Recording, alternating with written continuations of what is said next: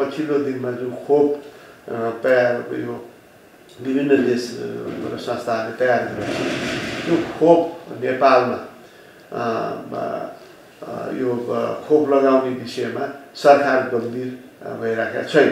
भारतले चाहिँ दस लाख चाहिँ नि शुल्क दिएको कुरा छ त्यो चाहिँ खोप दिन थालिएको भनेको छ।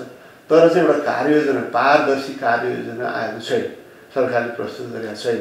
त्यसलाई कुन कुन जनसङ्ख्यालाई प्राथमिकता दिने? जस्तो चाहिँ अग्रपङ्क्तिमा काम गर्ने स्वास्थ्य कर्मीलाई दिने कुरो ठिक छ सञ्चारकर्मीलाई दिने कुरो ठिक छ। तर यो चाहिँ ज्येष्ठ नागरिकहरूलाई प्राथमिकतामा राख्नुपर्ने कुरा त्यसको कार्ययोजना सरकारले ल्याएको छैन।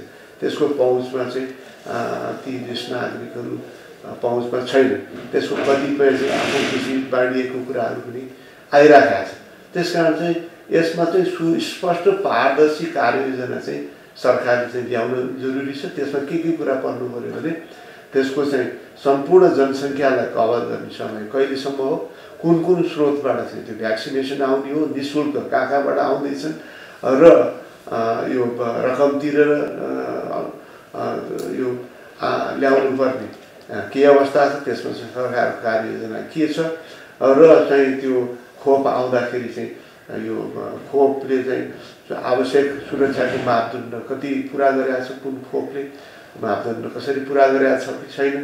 सरकारकै वित्तीय सल्लाह सल्लाहकार समूहको अनुमोदन त्यहाँ छ कि छैन? अब चिनले दिने पनि कुरा आइराखेको छ अरू कहाँ कहाँ कुन कुन स्रोतबाट आउँदैछ र कुन कुन पपुलेसनलाई प्राथमिकता दिइँदैछ कहिलेसम्म सम्पूर्ण चाहिँ जनसङ्ख्याले यो चाहिँ कभर जनसङ्ख्याको पहुँचमा त्यो खोप पुग्ने हो र यो आर्थिक खरिद गर्नुपर्ने के अरे खोप खरिद गर्नुपर्ने खण्ड छ भने त्यो चाहिँ खरिद प्रक्रिया पनि पारदर्शी र चाहिँ त्यो त्यस्तो खोप चाहिँ को चाहिँ त्यो सुरक्षा त्यसको चाहिँ विश्वसनीयताको बारेमा पनि नेपाली जनतालाई सुसूचित गर्न जरुरी छ।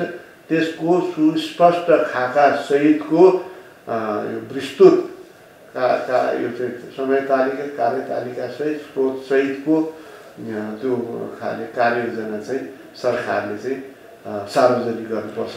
त्यो हामी माग्छौँ पत्र नै चाहिन्छ। त्यसमा चाहिँ कुन पपुलेसनलाई प्राथमिकता कसरी दिने हो कुन समयसम्म सम्पूर्ण चाहिँ पपुलेसन कभर हुने हो अनुदान कहाँ कहाँबाट आउँदैछ अनुदान आएकोमा पनि त्यो चाहिँ यो खोपको विश्वसनीयता सम्बन्धी मापदण्ड बारेमा त्यो चाहिँ सरकारले चाहिँ यथेष्ट सूचना लिएको छ कि छैन? वित्तीय समूहको चाहिँ रिकमेन्डेसनलाई फलो गरेका छ कि छैन? खरिद गर्ने पर्ने आवश्यकता त्यसले नपुगेर खरिद गर्नुपर्छ भने पनि त्यसको पनि मापदण्ड र चाहिँ स्रोत र चाहिँ खरिदको जुन जुन गतको हिस्ट्री छ दुरुपयोगको हिस्ट्री त्यसलाई ध्यानमा राखेर त्यसको पारदर्शिताको सुनिश्चितता पनि सरकारले